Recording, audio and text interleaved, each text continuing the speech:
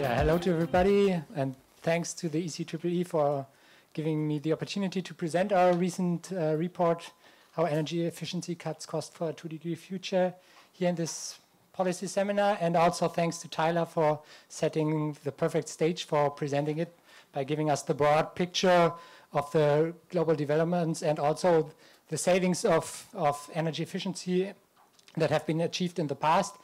Um, because I want to tackle the question of how, uh, how much can we save by um, prioritizing energy efficiency in uh, in the national determined contributions for um, for reaching the two degree target. Or you even see here that we are now a bit out of date with our title. It should be well below two degree or even 1.5 degree. I will shortly comment on that too. But in a way, the question stays the same. Uh, of course, as Tyler has told us, energy efficiency is very important for uh, for achieving the targets. But still, there is some leeway between going for a more a pathway that has a lot of uh, decarbonization options, so decarbonize, decarbonizing the supply of e energy, or to more focus on reducing the demand to to use energy more efficient efficiently in the end-use sectors.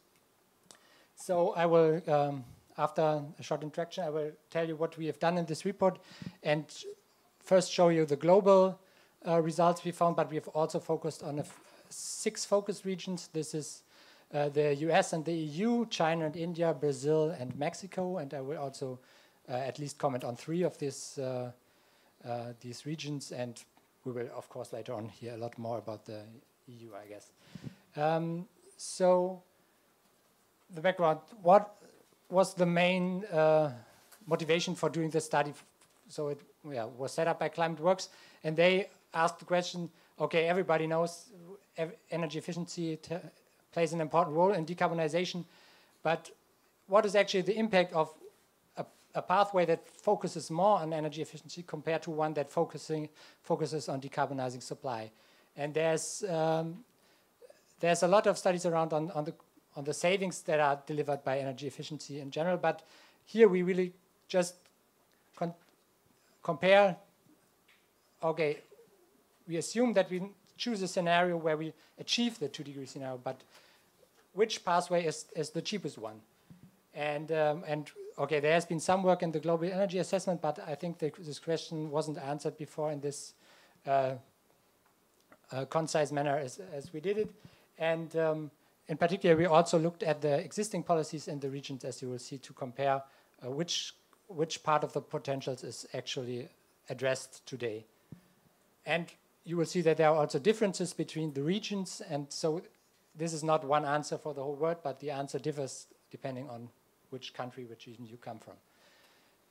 So first, a short look at the history, but I think this has been mainly been said by Tyler already, that um, in the past, the biggest emitters have already achieved a significant um, reduction in energy intensity. I assume that you are uh, familiar with reading this kind of diagrams, but let me shortly um, recall that this is, um, so the energy intensity is just the amount of energy spent per GDP in, um, and uh, so it's the amount of energy used to produce one unit of GDP. And uh, you see the development from, from the 1990s to the year 2013. And in the industry sector, so China started the worst, but they have also achieved the most significant savings, but still they are they have the highest energy intensities. So still they are not at the at the global average or even above the the highest the other high emitting countries. And a similar um, development can be seen for the transport sector for the US, who started out the worst, and with their CAFE standards, they have continuously been uh, increasing energy efficiency, but still they are far from being uh, as good as, as the other regions. And so you can already see that for the other regions, it's even even more difficult to to uh, reduce energy intensity to a significant amount. But there are, of course, a lot of potentials, and I will tell you more about this. So before going into details of the methodology, let me give you a short glimpse on, on the overall results. So as I said before, we have compared two pathways, the energy efficient pathway, uh, which of course also has to include some renewables to, to achieve the two degree target. but to a much less extent than the energy intensive pathway, which also makes use of nuclear power and CCS, um, depending on the region and, and in which amount. And what we find is that when we look at the cumulative savings from 2015 to 2030 of the energy efficient pathways in, and this is net cost reduction. So we consider the investments, uh, the operating costs and the fuel costs and uh, and um, to, a, to, a, to a reference technology in, in, in, a baseline scenario. And we find that the, the energy efficient pathway saves 2.5 to 2.8 trillion uh, dollars uh, when we accumulate the savings. Um, and this uncertainty is related to the, the impact of rebound effects that you probably know better than me is, is qu quite, uh, there are quite some debates about, about their um, the amount of rebounds we will, we will see. And when we look at the annual savings only in the year 2030, then it's, it's um, so the annual savings are continuously increasing and they end up at 440 to 480 billion dollars. And we also have looked at what have policies in three regions, the China, China the EU, and the United States, uh, achieved in reducing the future costs to reach the two degree target. So because of the energy efficiency in the past, the increase of energy efficiency, we, we have to do less in the future. And this uh, accumulates to 750 billion dollars um, till 2030. Okay, now uh, the whole story. So what we've done to um, assess our general goal to to compare the costs of an uh, energy efficient pathway and uh, and uh, an energy intensive pathway. We have um, looked at the existing policies in the six focus regions um, and uh, checked to which extent they, uh, they already address the existing potentials. We have um, compiled a review of two degree scenarios and looked what is the amount of energy efficiency that is in these two degree scenarios. So there's a wide span. Some of them have a lot of energy efficiency in there, some of them have less, to, to get a reasonable region of energy intensities, a regional range of energy intensities that we, um, we consider then in our own projection of cost reductions um, based on energy efficiency policies and alternative decarbonization measure, measures. And we did this based on the um, an unpublished update of the uh, well-known McKinsey marginal abatement cost curves. Um, and um, yeah, we looked at the, until 2030 for all six focus regions and had also some regional experts included to ground truth our, our results to the local policies. And uh, so who was involved? It was, uh, besides Fraunhofer ISI, we had the New Climate Institute and the Green Workers uh, in, in, the, in, the, project team. And we also had a, a steering co committee with well-known um, high-level stakeholders. Um, Niels was there, you, but also uh, Steven Nadel from ACEEE and some other guys you may know or you may not. Um, and we had the local experts. I don't want to go into the details here. It's just that um, to show you that we had um, regional experts from every all of the six focus regions. And so now I come to the methodology and also to the results. Um, so what you see here sketched is um, the typical uh, marginal abatement cost curves where you see costs and benefits in the vertical axis. So um, the interventions shown here, they have positive costs, so they, they produce net additional costs compared to a reference technologies, while those down here have produced, in a way, cost savings benefits compared to the reference technology. And, uh, and uh, on the x-axis, we just show the emission reduction. So um, this one is, has uh, would have a particularly large uh, potential for emission reduction. And they are um, marked by color compare by the sector type they come from. So blue is generation, yellow is buildings and industry, and green is transport. And what you immediately see here is that, although this is just a sketch, the usual picture is that you find the end-use sectors more down here, while the generation technologies typically have, at least at the moment, um, positive net costs. So the, of course, the, the costs from renewables are, are reducing quite fast, but still um, they are more expensive than reference technologies. And then we chose the two pathways. So on, in the energy efficient pathway, we just included generation decarbonization options as much as needed to, to reach a two degree uh, target, and we did this based on the on the um, 450 ppm scenario from the IEA that Tyler also showed to us, and um, and then we chose a pathway where we focused on the uh, decarbonization of the supply of energy and only in included energy efficiency as much as needed, and so the first qualitative findings that you see here is that in the energy efficient pathway we have uh, the high efficiency in the end-use sector, it grants a signif significant flexibility in choosing how to decarbonize supply. Of course, here we chose the, the cheapest measures or the ones with the least cost, but maybe for acceptance reasons or whatever, you could also just exchange those for, for one of the gray ones for a little higher cost, but you are flexible to choose. And a lot of this flexibility um, disappears when we look at the energy intensive pathway. And when we uh, look here at the energy intensive pathway, we also see that we had to include, depending on the region, quite a number of energy efficiency measures to reach it, to achieve the emissions necessary for, for the two degree target. And uh, so in, in total, we had to uh, reduce the um, energy, energy demand in the end-use sectors by 7% in, by 2030.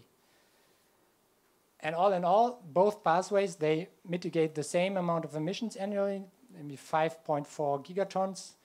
Uh, but as I said before, the annual costs of the energy efficiency pathway are 440 to 480 billion dollars less globally. So let's take a closer look at, at the at the sectors. Here's a a similar sketch where we have aggregated um, the results by sectors. And uh, what you see here is um, that, so in the transport sector, we have the efficiency options like reducing uh, fuel consumption of, of cars, or, uh, um, but also modal shifts in here. And on the other hand, we have this smaller bar here that represents biofuels and, uh, and other options that are um, um, yeah, that are not related to efficiency. And you see that th this one is, has much lower cost or much higher benefits and also a much larger potential. And for the, for the industry sector, we see that the efficiency options, they are far more less cost intensive than the, than the uh, potentials when you, we look, for example, at CCS technologies or other process emission uh, options to avoid emissions. In the in the building sector, so by buildings I mean both buildings and appliances, we see that the picture is more diverse. So there are uh, options with very high benefits, but there are also options that are quite expensive, and therefore we just see here uh, in the in the mean we just see a, a lower uh, benefit than in the other sectors. But this just means that you have to have to look, depending on the region, so how how much uh, how how many buildings in our building stocks do, do, I need to renovate, or to which degree, and uh, so on. And finally, pre-finally, um, the abatement potentials of renewables and nuclear power they are by far, by far the largest. But if we want to fully exploit this, but you see that it has positive net costs, then it will be very expensive. This is what happens in the energy intensive pathway. And finally, the use of carbon capture and storage, both for power generation and industrial processes, can be avoided by uh, at least until 2030 in, in this energy efficient pathway. We don't talk about thereafter because this will, uh, yeah, it, it may be the case that we will need CCS there depending on to whether we want to the, reach the 1.5 degree goal or the 2 degree goal. So um, now, coming from the general results to, to the more regional ones, um, here is an overview, and I will go into the details on the next slides of uh, the findings for the region. So what you see here is the achieved emissions by in, in purple um, that we took from the from the 450 ppm scenario from the World Energy Outlook, and um, and the annual savings, and then the main potentials by by by sector or the most important um, gaps that can be addressed by by energy efficiency policies in the future, and um, so I immediately go to uh, to the regions. I will talk about China now, the um, Brazil and the EU. But if you want me to, I can also comment on the other regions in, in the discussion. So for China, we find that actually already the intensive intensive pathway requires uh, a huge annual uh, reduction of annual consumption. So by 14 exajoule um, in in 2030, and compared to to uh, to the to the current policy scenario of the IEA. And um, but still, the efficient pathway can achieve even higher savings. So depending on the rebound, 4.7 to 6 exajoule. And the realization of this additional savings will reduce net costs by quite a lot um, when we look in, in, on the total amount. But when we look at the savings per ton of CO2, it's 10 to 12 US dollar. That's not that much, but this is mainly reflects the fact that there are a lot of savings already in the in in the in the intensive pathway. So now, when we look at the historic and current policies, what we, we found is, as I showed you in the in the figure in the beginning, in particular in, in the industry sector, China has made a lot of progress with the top 1,000 and the top 10,000 program. And this has already decreased the future net cost by more than 50 billion dollars per year. So this is really savings that, yeah, are realized every every year. Um, and still, there remain significant unaddressed potentials uh, in, in in the industry sector, in particular in the chemicals and the iron and steel sector, but also in petroleum processing and coking. And uh, even more in other sectors like the transport sector, uh, there are additional efforts required, like um, reducing fuel consumption by, for example, by by um, installing very strong um, standards, or also by a modal shift in public and freight transport, where, of course, China is doing some in, in uh, making some progress on on the on installing railways uh, for long long distances, but there's still um, a lot to do. So coming now to um, to Brazil, uh, here um, we find in okay, in total terms it's of course much lower savings, but but the um, relation of the numbers is, is similar. That there are 50% higher savings in the energy efficient pathway, and um, the annual net cost reductions, I will, let me just say that here the savings per ton of CO2, they are much, much higher. And this is related to the fact that in the intensive pathway, they don't need a lot of energy efficiency they, because they will mostly achieve their reductions by, by land use changes uh, or, or, avoiding deforestation, deforestation. And therefore, here we find much higher savings. And when we look at the current policies, um, so we didn't look at the historic savings here because there's very few data available on that, but also the impacts, as far as we could see, uh, have been marginal, marginal when we can look at this, this global scale. And um, they have made some, made some progress in the building sector with the PROCEL program, but also here there are significant potentials for retrofits of HVACs and air conditionings. And um, on the other hand, in the transport sector and the industry sector, they are really growing sectors in Brazil with, uh, with uh, strongly growing emissions, and there um, is a huge gap for, for introducing energy efficiency policies in Brazil. So coming now to the EU, though I have to say that probably most of you are much more, uh, um, much, um, have much more expertise for the EU than I do have, but um, let me um, anyway show our results for the EU to you. Um, so here we find that the efficiency pathway it can double the savings uh, from from the uh, compared to the intensive pathway, and also this comes with very very high additional savings um, when we calculate the savings per ton of CO2 emissions. Um, so it's above seventy uh, dollars, and uh, so the the reason here is that um, um, yeah on the one hand that that in the intensive pathways there is not too much energy efficiency needed, but also also that the the high cost economy that we have allows to achieve much higher uh, cost reduction than, for example, in China. When we look at current policies, you see that historical policies have uh, have had a lower impact compared on, on the reduction of future costs. Again, this is related to the fact that in the EU we started at much lower levels of energy intensity and therefore uh, couldn't go that much down as, as China and, and as the US, as I showed you on the, on the historic slide at the beginning. But the EU, EU is on a good track with the re revision of the EED and the concrete energy efficiency target for 2030, though we will probably have some discussions about um, yeah, how ambitious the 2030 goal should be.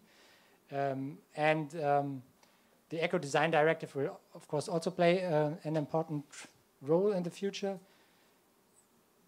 When we look at industry, it, the problem is that it, realizing energy efficiency will mainly depend on the on um, reform of the EU um, emission trading scheme, which, as you know, has been dysfunctional more or less in the past in, in many ways. So um, here a reform is definitely needed uh, from, from this from the point of the potentials that it can be re realized, and um, also the only moderate fuel economy standards for LDVs and and uh, the lack of um, policies for HDVs, um, of strong policies for HDVs, pose additional potentials for improvements.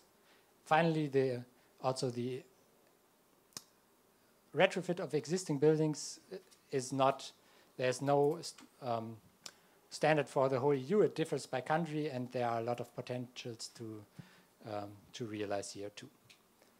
So to conclude, um, I just so show you the results for all six regions in the overview, and let me just say that again, we found here, as in many studies before, that when we look at just at the net costs of all these energy efficiency measures, um, they have they even produce benefits, and then you may pose the question: so why aren't they realized yet?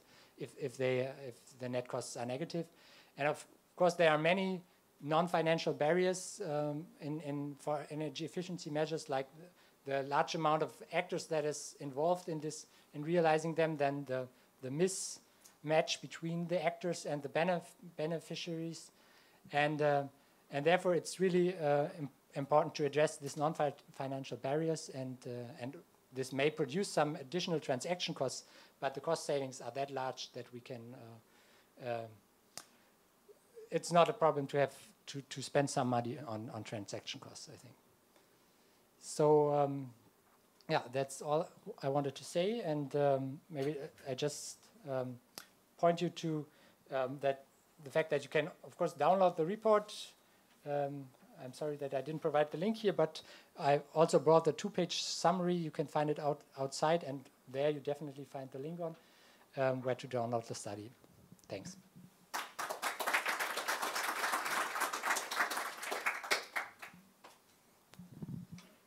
Thank you very much. Um, we also hear if there's any urgent questions for understanding here, we will take one or two. We have two here first. Thank you very much. Edwin Cornelis of uh, Vito Belgium. Thank you for your interesting presentation. My question concerns the basis of your research, the cost abatement curve of McKinsey, and actually I was wondering to what extent this cost curve has been validated. Mm -hmm. Because ClimateWorks is, is also in cooperation with McKinsey, we were able to to assess the, um, also the data that is not published by by McKinsey, and and there's even an, an update that has not been published but should be published soon of this. So there will be a version 3.0 of, the McKinsey cost curves. And we could, uh, um, yeah, by this we of course had some comparisons with other cost curves and um, uh, in insights by having insights in the in, in these data, we could verify that um, uh, their assumptions are um, to a certain extent reasonable. But of course, there, are, as you know, there are a lot of debates uh, about these curves, and uh, and so you should see this as a meta study of the McKinsey curves and all the criticism that you um, can put to it. You can still be put to also this kind of uh, analysis. Please. My name is Dirk van Orshoven. I'm an independent energy engineer here in Belgium. Uh, basically, yeah. my question is the following. Um, are all energy efficiency measures included in this graph? Because I see on the left-hand side there are a lot of them which are which have a, a negative cost, uh, which uh, gain money. But if we take that triangle, and you could say approximately that's it, a linear uh, curve, if we would uh, have, have a curve uh, going through it. It's if we would interpret that as a kind of law, uh, how the energy efficiency versus cost measures are, are, intrinsically available technologically and economically if fully developed, and we would extrapolate that beyond the zero point, then there would be a much larger triangle with positive costs, so which would cost more than, than they bring benefit, uh, but it would be much larger than the orange bars that you have here. So I always have had the feeling that in, in the study, they primarily focused on those energy efficiency measures which are which pay for themselves, and the others are not fully taken into account because generally you say we, we don't care about them. But if we compare them to the other options uh, in generation, which have an extra cost, then there may be more energy efficiency measures that are still cheaper, but which are not included in the study and, and in the graph. Could you comment on that, or? Yeah.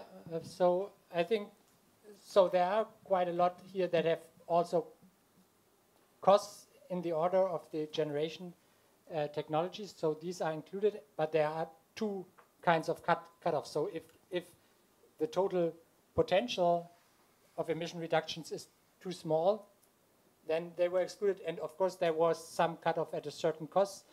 Uh, though I have to say, in the McKinsey data we got, there are some with even several hundreds of dollars per ton of CO2 emissions. Uh, we did an extra cut then uh, here at $200. Um, but yes, there are these kind of measures, but they are excluded for, for good reasons, I think. But my question was mainly about those that are cheaper than what is shown on the graph, than the maximum on the graph. So the orange areas with a positive cost are very small areas compared to those with the negative cost. If we would extrapolate, well, I, I can difficultly explain what I mean, but if you would extrapolate that line with the negative cost, I would expect within the graph, within the range of the graph, much more uh, energy efficiency measures still. Yeah, okay, maybe this is really just a sketch. You shouldn't take it too se too seriously. Uh, yeah, it, it, it was meant to to yeah to to explain the the methodology to you, but but they may be broader than than they are shown in the picture. There, if the if they had a significant potential and were were below this cost level, then they were included.